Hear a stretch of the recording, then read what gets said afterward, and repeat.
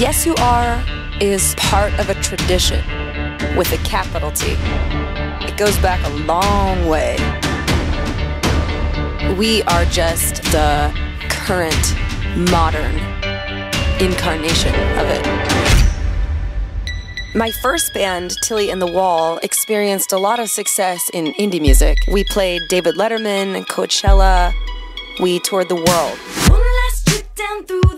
With Tilly, we had no intentions, we were just having fun. Don't remember when they shot me. But that party ended. Yes You Are is more like a mission, and we're just getting started. We do it cause it feels right. I'm Amy. Nice to see you. Come in, come in, come in.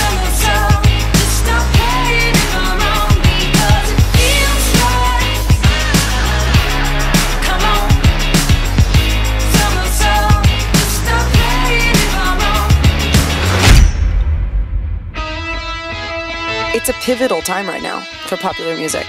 The last great generation of musicians has all but faded away, and there's a passing of the torch. Who will it go to?